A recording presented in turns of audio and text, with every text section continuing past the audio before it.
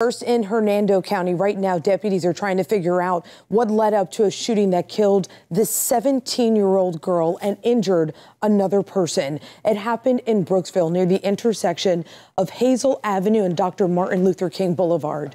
Deputies tell us Isabella Scavelli was shot along with another person.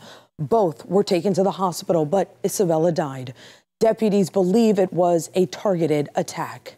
We spoke with one of her close friends just hours ago who says she was just talking with the 17 year old before she was killed. I know she was going through stuff personally, you could tell, but I never really asked her. Because yeah. she's always like laughing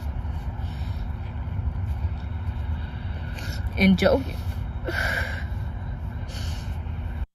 Grief counselors were at Hernando High School today for teachers and classmates mourning the loss of Isabella.